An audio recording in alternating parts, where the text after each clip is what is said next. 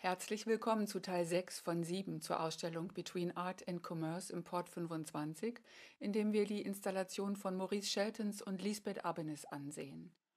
Bei Sheltons und Abenes gibt es keine Grenzen mehr, weder zwischen freier und angewandter Kunst noch zwischen den einzelnen künstlerischen Gattungen.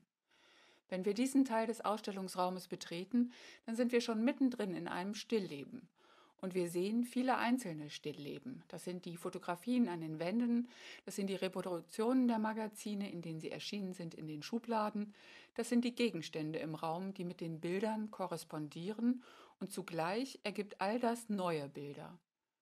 Zu sehen sind Werbefotografien und Fotografien, die für Magazine entstanden sind.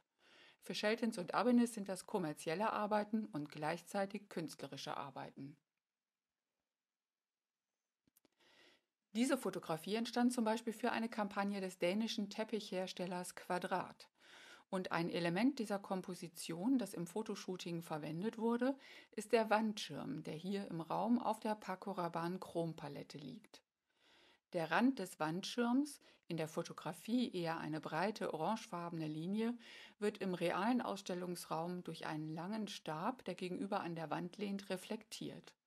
Steht man also im Raum und hat diese drei Elemente im Blick, Fotografie, Stab und Wandschirm, dann sieht man die Beziehung und sofort entsteht im Kopf ein neues Bild. Sheltons und Abenes bereiten das Set für ihre Fotoshootings immer absolut präzise vor. Jedes Detail ist bedacht, geplant, alles steht am richtigen Platz, im richtigen Licht.